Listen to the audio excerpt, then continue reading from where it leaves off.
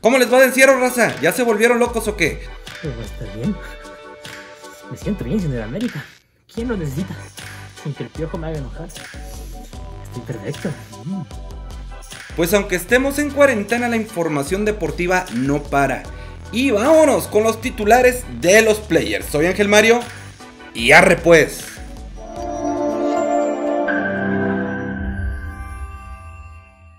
Se le viene otro problemón a la Liga MX. No le basta con que la Liga de Balompié Mexicano le comience a bajar el mandado y tengan el torneo en stand-by.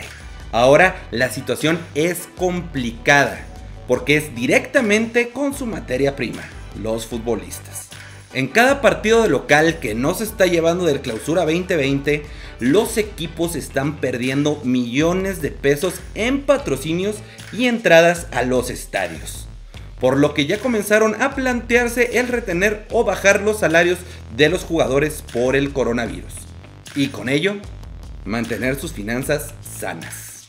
Los primeros en hacerlo fueron Santos, Atlas, Pumas, Tuzos, León y Rayados, quienes comenzaron a diferir los pagos de sus futbolistas durante el parón de la liga.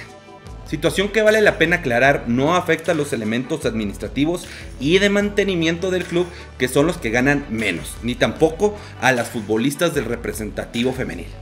Quienes ya dijeron que en él y que seguirán derrochando marmaja al por mayor son obviamente el América y los Bravos de Juárez. Ya que afirmaron que los pagos del primer equipo seguirán íntegros hasta nuevo aviso. Lo que es tener barro, racita. Amigos, que encontré en mi bolsillo, miren. Un año de salario, justo aquí. ¿Saben cómo lo llamo? Cupones para fiesta. ¿Vieron? Son cupones para fiesta. En el resto de los equipos reina una falsa calma, aunque ya comenzaron las negociaciones en el escritorio para ver cómo salen de esta. Por lo pronto, nosotros que somos unos simples mortales sigamos echándonos un atuncito en este apocalipsis. Provechito a todos los que están comiendo. Estas son las noticias en cortito. El equipo más mexicano del país, las Chivas, tiene un portero extranjero. Sí, en la semana trascendió que el guardameta de la sub-20, Víctor André Alcaraz Frías, nació en Languedoc Rocio. Rocio. Bueno, pues en Francia. ¡Qué elegancia la de Francia! Sus padres son mexicanos y fueron a estudiar sus posgrados al país de Ratatouille, cuando nació en el año 2000. Pues a huevo, aunque estés de intercambio en Francia, obviamente vas a coger. Y aunque esto suene extraño, no es la primera vez que el rebaño tiene jugadores nacidos en el extranjero y con la doble nacionalidad, ya que son más de 10 los que han vestido la playera rojiblanca. Ahí tienen a su mexicanísimo. De nada.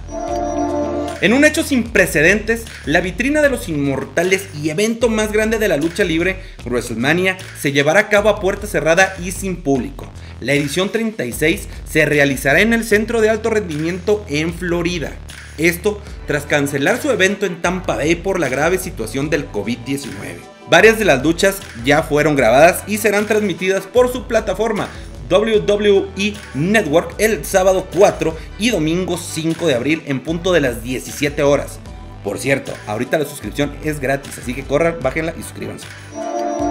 Para finalizar, hoy se cumplen 115 años de la fundación del Boca Juniors, el club que presume 34 ligas argentinas, 6 Copas Libertadores, 2 Sudamericanas y 3 Intercontinentales. Sus colores están inspirados en la bandera sueca de un barco anclado en el barrio de La Boca. En México hay miles de aficionados a este equipo y a todos ellos les decimos felicidades, aguante Boca. Para tener esta y más información de todo lo que hablamos, la encontrarás en el site de losplayers.com. Te dejo las ligas en la descripción de este video y ustedes coméntenos a ver qué les pareció.